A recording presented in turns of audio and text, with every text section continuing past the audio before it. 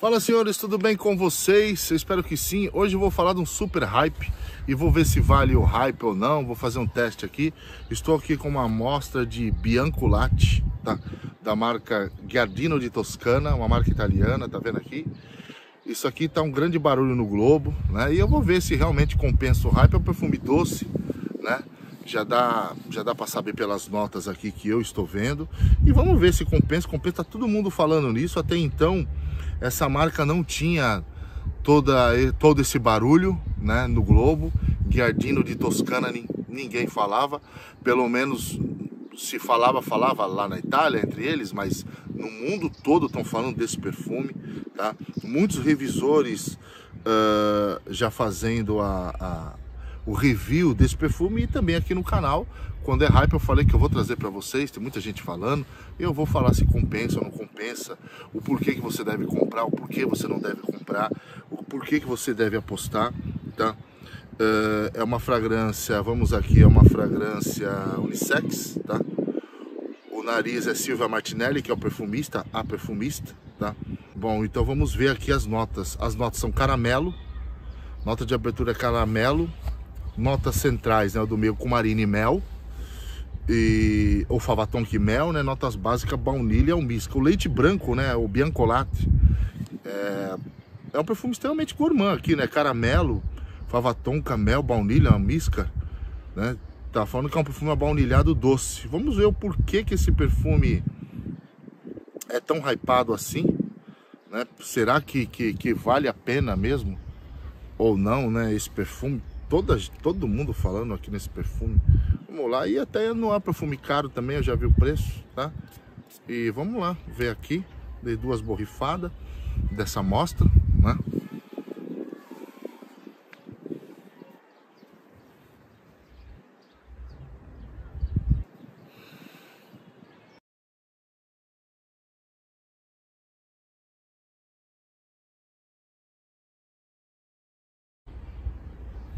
É, o que que eu pego aqui, tá?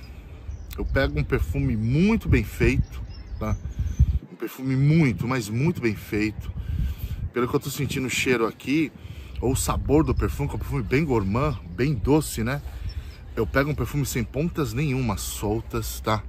É, esse tipo de fragrância não me motiva muito, porque eu não sou fã de perfume doce, mas eu acho que que para quem gosta de perfume doce ou para um público mais popular, isso aqui é a resposta da oração de muita gente. Eu entendo o hype por trás dessa fragrância, do tamanho da, da do, do cheiro, da delícia que é esse perfume. Eu pego, eu pego assim, na explosão inicial eu pego no, nuances do descontinuado Fève Delicieuse, da marca Dior, tá? Eu pego aquela nuance, alguma coisa, não sei se é fava tonka com outro ingrediente que tá me levando ao Fève Delicieuse, tá? Da marca Dior. E eu também pego, conforme o perfume vai ali secando, vai evoluindo aqui, eu pego algo atalcado, tá? Algo atalcado, é, bem exagerado, que com certeza é exagerado dentro dos, eu digo assim, intenso no caso, né? Intenso, uh, atalcado e essa baunilha, tá? Um, um, bem branco, tá? Bem branca, baunilha bem branca. Um perfume muito intenso, muito forte. Um perfume construído sem pontas, sem pontas soltas. É um perfume branco adocicado.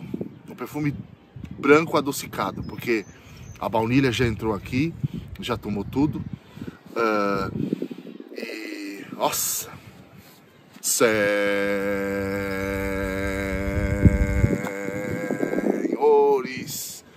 Isso é ridículo, ridículo de tão bom. Mesmo eu que não sou fã de perfumes doce ou gourmand, realmente é um perfume muito gostoso. Muito gostoso, muito delicioso.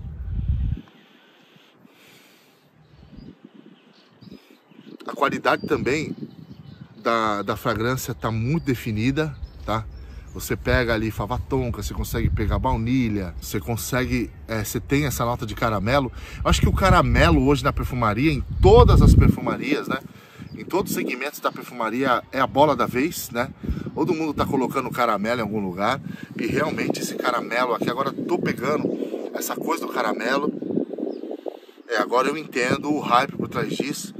O perfume já é incrível e maravilhoso na, na explosão inicial, agora que ele tá evoluindo, tá ficando melhor ainda.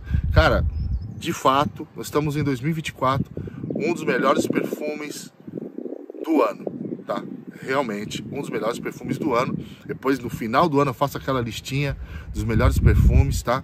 Esse é um dos melhores perfumes do ano, tá? Ao lado de Macho Maro, da marca Unique Luxury, acho que é um dos gourmands assim que mais me chamou a atenção, da Bianco Latte. Bom, é um vídeo de primeiras impressões, já falei bastante sobre perfume. Esse perfume vai combinar com homem e também para mulher, tá? Uh, se você é um homem mais lenhador e gosta de perfume muito macho alfa, né, perfume muito masculino, esse não é tão beco, porque aqui é um perfume uh, doce, um perfume gourmand. Só que ele não é assim um perfume gourmand feminino, não. Também as mulheres que estão ouvindo isso, não é um perfume feminino, ele é um perfume totalmente unissex. Totalmente tá? Uh, isso aqui também, na minha opinião, como é um perfume bem intenso, um perfume bem marcante, tá? Embora tenha uma certa delicadeza na construção das notas, o estilo do perfume é delicado, mas a intensidade não é, tá? Então, assim, o perfume vai marcar, eu acho que esse perfume funcionaria mais para evento, mais para para igreja, por exemplo, uh, ah, para encontro, alguma coisa nesse sentido, tá? Eu acho que no trabalho seria muito evasivo esse perfume, porque é um perfume muito intenso, tá bom? E a minha nota nessa primeira impressão, de 8 a 14 de 10, é um perfume muito bem feito, muito bem vou dar aqui um 12 de 10, tá? Um 12 de 10.